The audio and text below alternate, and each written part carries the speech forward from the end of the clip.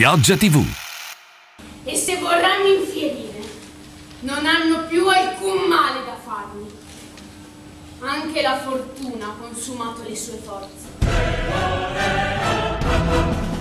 Quest'anno il liceo veronese ha festeggiato il 25 dell'attività teatrale del classico. Da 25 anni infatti l'istituto mette in scena la tragedia e quest'anno è stato rappresentato l'Agamennone di Seneca.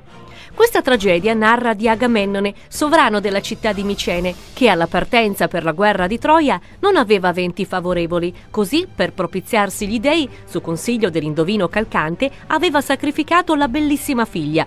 I venti allora avevano cominciato ad essere propizi, così la flotta poté salpare. Clitemestra, la moglie, aveva però deciso di vendicare il sacrificio della figlia, uccidendo Agamennone e convincendo Egisto, cugino del marito e suo amante, di aiutarla in tale impresa. Lo spettacolo è stato bellissimo, l'entusiasmo che ci hanno messo i ragazzi che hanno recitato era palpabile, anche perché la tragedia era particolarmente impegnativa.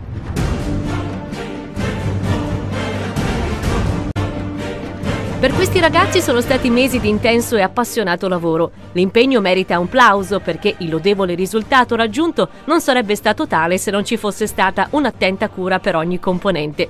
Dalla regia di Franca Ardizzona Rossi alle coreografie di Patrizia Ricò, traduzione ed adattamento di Roberto Vianello, musiche di Andrea Chinaglia e il trucco e le acconciature curate da Sara Scarpa, ricordando il coordinatore del progetto Roberto Vianello.